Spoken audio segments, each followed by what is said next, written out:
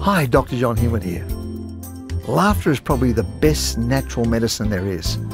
It is so healing. Just being aware that something wonderful is going to happen makes us realise what could happen. And it releases powerful chemicals into our bloodstream called endorphins. These create a feeling of well-being and happiness. From time to time when you're feeling down, think of some episode in your life that's created great fun, joy and loads of laughter. And this will create more of those wonderful endorphins to be moved around your body. So this can then support you and help you have a magical day. Expecting miracles is very healing. And laughter really is the best medicine. This is Dr. John Hinwood. Visit me at expectamiracle.com.